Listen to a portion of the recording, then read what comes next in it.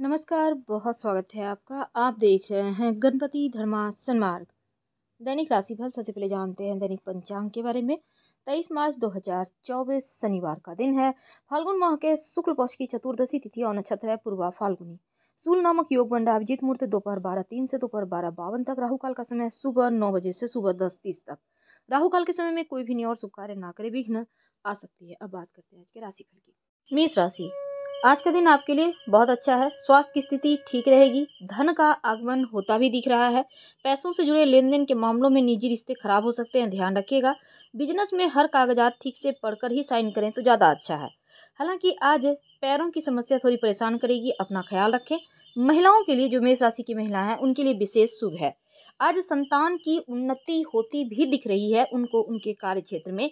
और दूसरा आज के दिन जो विद्यार्थी हैं, मेहनत कीजिए, मेहनत से सफलता है। व्यापार बढ़ोतरी के नए अवसर मिलेंगे।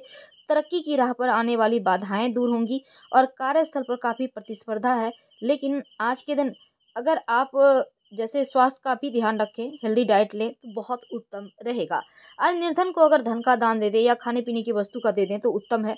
हालाँकि अपने कार्यों को समय से पूरा ना होने के कारण थोड़ी परेशानी होगी थोड़ा तनाव होगा लेकिन दाम्पत्य जीवन में अगर कोई चल रही है समस्या तो कोई कर, ज़रूरी कदम उठाइए ताकि रिश्ते बढ़िया हो। जीवन साथी को आपकी कोई बात बुरी न लग जाए, इसलिए तोल मोल कर बोलें, अगर कोई गलत शब्द निकल भी जाए, तुरंत सॉरी कहें, और अतिथि का आगमन हो सकता है घर में जिससे खर्चा बढ़ेगा। हालाँकि कुछ शत्रु विरोधी भी हैं, जिनसे आपको संभल कर ही रहना हालाँकि वो कुछ बिगाड़ नहीं पाएँगे, लेकिन फिर भी सावधानी आवश्यक है। आज खासकर, देखिए, जो लोग जॉब करते हैं, कार्य क्षेत्र में दिन बढ़िया गुजरेगा, धन की कमी नहीं होगी, और इस समय आज जैसे भावुक किसी बात को लेकर हो सकते हैं, जिस कारण से बनता हुआ कार्य बिगड़ जाएगा। यानी अगर दिमाग की जगह दिल यूज़ करेंगे, तब टेंशन है। जो व्यापारी भाई हैं, आँखें बंद करके किसी पर भरोसा ना करें और तमाम व्यापार की बागडोर, जो भी हिसाब किताब है, अपने हाथों में रखें। बेवजह का खर्च मत कीजिए, जो युवा वर्ग हैं, खासकर उनके लिए। नहीं तो बाद में समस्या होगी धन की और जीवन साथी की सलाह अगर लेकर कोई कार्य करे तो उत्तम रहेगा। हालाँकि इस समय स्वास्थ्य के मामलों में सर दर्द की समस्या या थोड़ी थकावट हो सकती है, बड़ा टेंशन नहीं है, लेकिन थोड़ा सा दर्द की समस्या है, चाहे वो पैर में हो या सर में।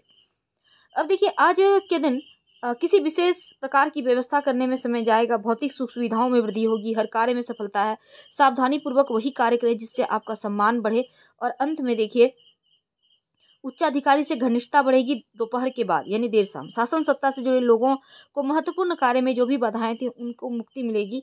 सकारात्मक परिवर्तन आ रहा है। आपके नौकरी व्यापार के मामलों में गुप्त शत्रु है जो गुप्त नीति से हानि पहुँचाने का प्रयास करेंगे। इसलिए राजनीति के क्षेत्र से जुड़े हैं तो विरोधी के षड्यंत्र से सावधान रहिएगा और सामाजिक मान प्रतिष्ठा के प्रति भी सावधान रहे, क्योंकि कोई भी ऐसा कार्य ना करे कि आपकी प्रतिष्ठा पर आघात पहुँचे।